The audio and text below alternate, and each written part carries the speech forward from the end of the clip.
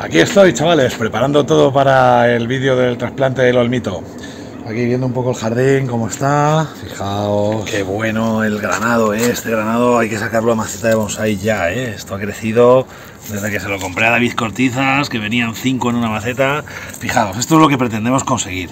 A Kirio a tope, luego le puse un poco de pómice, pero nada. Y que engorde así, desde un palito fino que era a esto. Un palito fino como este. Como este que tengo aquí en una maceta, es enraizado en el suelo. Y como han enraizado en el suelo va a crecer mucho, pero tan finito como este. Fijaos. ¿Veis? Incluso menos. Era más fino todavía. Vale, y, fijaos cómo se ha puesto. En, nada de tiempo, si se hubiera quedado así, si hubiera estado en una maceta. Ahora esta maceta, como ha enraizado en el suelo, no la puedo levantar. No la puedo levantar. Si, si, si escarbásemos aquí, veríamos que ha enraizado por ahí. No sé si podremos, vamos a intentarlo ver. Metiendo el... Sí, miraros. Mirad. Ah, no se va a ver. Sí, sí, sí, sí, sí, sí. ¿Lo veis? ¿Lo veis? Ah, sé que lo habéis visto. Y más raíces que había. Más gordas, ¿vale? Como ha empezado a enraizar en el suelo, ¿eh? como ha empezado a enraizar en el suelo, va a crecer mucho. De hecho, ya lo estoy viendo. Porque esto no, esto no estaba tan gordito. Esto estaba todo como el de aquí. De hecho, este no sabía yo ni que existía. Este segundo tronco para mí no existía. Ha aparecido de una ramita de abajo y se ha puesto así de gordo. Y este era más finito que este. Pero porque han raizado en el suelo. Que es otra manera de engordar de engordar plantas. Zoom. ¿Vale? Pues nada, estaba aquí viendo, viendo cómo está otoñando. ¿Veis? Aquí está otoñando la, la morera negra esta. ¿Vale? Esta morera. Ya le estamos haciendo aquí un poco de ramillas, pero bueno. ¿Vale? Esto es uno que también puse aquí para engordar, pero que se congeló en invierno, se está recuperando. Y por eso no está tan frondoso. ¿Vale? Ya lo visteis en el vídeo de Filomena. Pues nada, por aquí por el jardín y para preparar el sustrato y alguna cosa, que lo veáis. Para mañana ya hacer el trasplante, a ver si puedo. ¿Vale? Bueno, tengo aquí de todo. Tengo aquí de todo, como sabéis. ¿Eh? Aparte de una, una medida súper poderosa para evitar que las niñas entren aquí. ¿Eh? No, no veas tú. Pues tengo aquí de todo. Aquí de todo. Fijaos por aquí, por aquí, por aquí, por aquí, por aquí, por aquí, por aquí, por aquí, voy poniendo, poniendo, poniendo.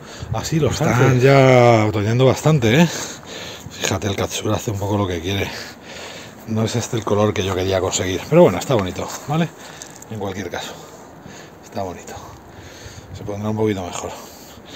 El otro purpúreo. El Benimaico. ¿Veis que cogen este rojito que no es el más guay porque les he tenido mucho a la sombra? Ah, luego se pondrán más bonitos, pero si no hubieran estado tanto a la sombra, cogerían un color más chulo. Vale, este todavía nada. El Benikagami. Ay, el Benikagami es este de aquí arriba. No lo vais a ver mucho. Bueno, luego se ve. Ya empieza a ponerse rojillo. El Sangokaku. La joya de la corona aquí en esta casa. Vale, este está ahí poniéndose. Tengo que coger ya semillas porque seguro que si hago así, eh, ya se empiezan a caer. Todavía no. Pero en noviembre hay que pillarlas ya. Bueno, vamos a lo que íbamos. Ah, una frambuesa. Qué rica, luego se la come mi hija. Si la cojo ahora y no se la doy a ella, se va a pillar un cabreo. Pocas quedan ya, ¿eh? ya cuando empieza el frío. Y además eso, lo que os dije, las ramas viejas como esta, chuchurría, hay que podarlas. Vale, esta ha durado dos años y no debería. Hay que podarlas. Ahora en invierno se deja casi a ras y tira tallos nuevos como loca.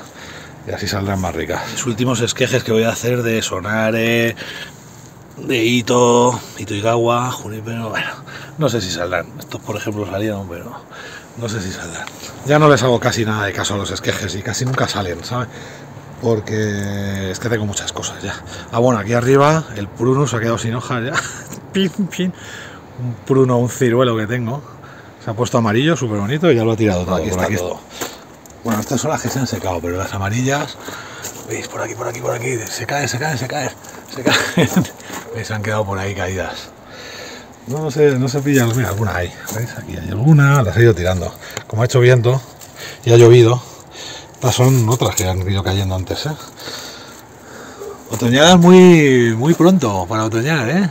Muy pronto para otoñar. Pues nada, Este es mi cobertizo aquí de la piscina, donde tengo este arcón lleno de las cosas de bonsáis. Estos esquejes que no salieron, ya me lo dijo Gonzalo, de Bonsai Fácil, que estos esquejes de Bruno Pisardi no iban a salir. Así que habrá que ir al Josep a pillar uno como el que sorteó Bonsai Fácil. O está en el próximo sorteo de Bonsai Fácil, hombre. Vale, el peral que sí había salido, me descuidé aquí a oscuras y ya se fue al garete.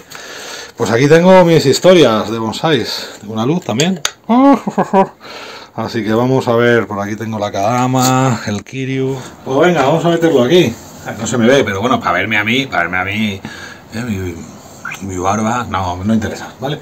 Vamos a meter aquí a Kamei Kiryu 70-30 para que lo sepáis hacer, por si alguno se la ha comprado ¿no? en sacos. Y ya lo tenemos para mañana. Entonces, ¿cómo se hace esto? Pues mirad, en una bandejita al efecto, como esta, que le vamos a calzar aquí algo para podáis lo, y podáis lo ver. ¿Vale? Se ve bien, ¿no? En una bandejita al efecto de este estilo, pues vamos a pillar la cadama que ya tenía yo aquí, pero vosotros puede ser que tengáis sacos de este estilo, de los cuales tengo dos ahora mismo. Bueno, pues vamos a poner esto, que es cadama, que yo lo sé, y es la granulometría que me interesa. Fijaos, es esta granulometría, ¿vale? Estáis viendo mi cuerpo detrás y Darth Vader. Jackie, Anoya Bonsai, yo soy tu padre. Bueno, que esta es la granulometría que, hace falta, ¿vale? Entonces lo ponemos aquí, lo abrimos. Esto es un poco como arguiñano, la cocina en casa. Pues esto es el, el cobertizo de la piscina bonsai en casa. Yo os libro de mi cara, cosa que Arguiñano debería hacer no hace. Entonces pillamos la, mediana de estas, si tenéis, para que me viene muy bien. Y entonces, ¿qué hacemos? Pues mira, la rellenamos así más o menos. Si no se cae, ah, se cae un poco. Una.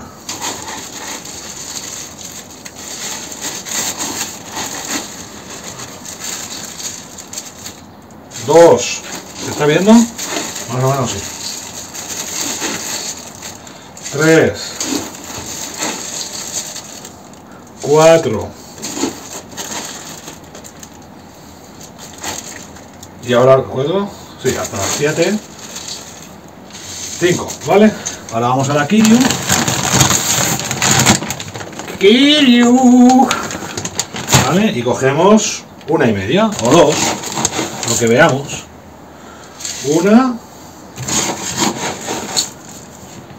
y casi media, un poquito más de media y ya está. Y esto es un 70-30, si es que no tiene por qué ser exacto. El bonsai no sabe de matemáticas, le va a dar igual que esté por arriba un poquito, por abajo un poquito. ¿Vale? Nueva lección de hoy de papá bonsai. Los bonsai no saben de matemáticas, 70-30. 66-33, da igual, 75-25, da igual, ¿vale? Da igual, tú no sabes qué variedad te ha tocado justo. Si le va a gustar más, menos, no flipéis.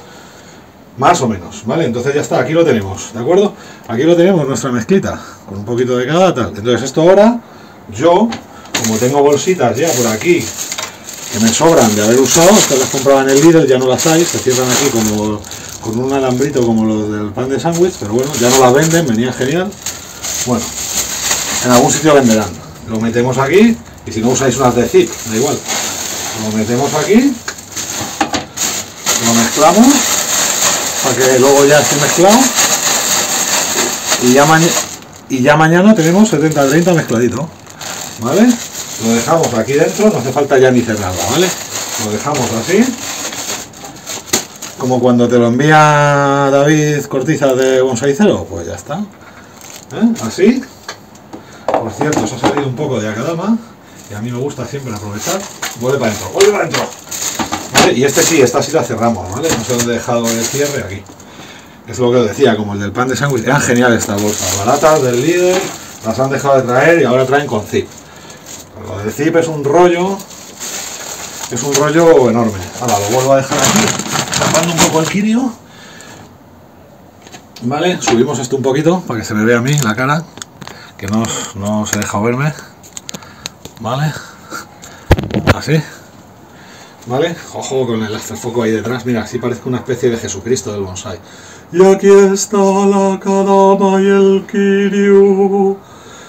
tu bonsai crecerá hasta los cielos. Bueno, pues así, ¿vale? Anda, que se me va la olla. ¿Qué más os iba a contar hoy? Que recojáis cuando uséis vuestras cosas. Si no terminaréis como papá bonsai, que es la anarquía pura. ¿De acuerdo? Hasta que os venga Dios a ver. Dios,